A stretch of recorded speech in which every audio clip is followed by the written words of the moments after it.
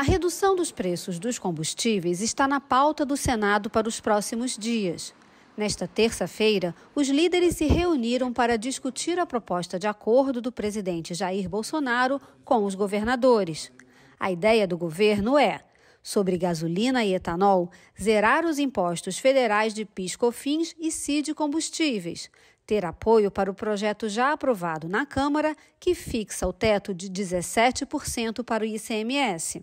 O texto do PLP 18 define que os combustíveis são bens essenciais e indispensáveis, por isso o limite para as alíquotas. Sobre diesel e gás de cozinha, os impostos federais já estão zerados, então a proposta é que os estados façam o mesmo com o ICMS.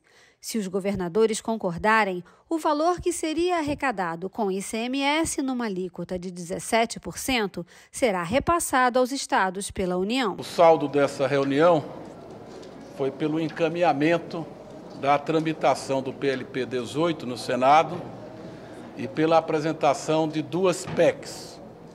Nós vamos apresentar o relatório e as duas PECs amanhã às 16h30. Será feita a leitura do relatório da PEC, que é a PEC que está sendo chamada da PEC dos combustíveis, que vai abrir o espaço para compensação aos estados que queiram zerar as alíquotas é, de GLP e de diesel. É, a outra PEC que é da minha autoria, essa dos combustíveis. O primeiro subscritor será o senador Eduardo Gomes.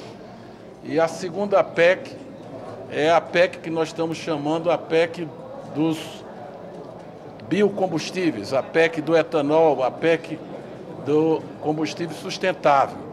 Ainda segundo o relator, se houver acordo entre os líderes, o projeto já aprovado pela Câmara deve ser votado na próxima segunda-feira. As duas PECs podem ser analisadas no mesmo dia. Os senadores têm até o meio-dia de segunda-feira, dia 13, para apresentar emendas. Fernando Bezerra afirmou que o clima na reunião de líderes foi de compreensão e de reconhecimento da urgência de enfrentar a questão dos preços dos combustíveis.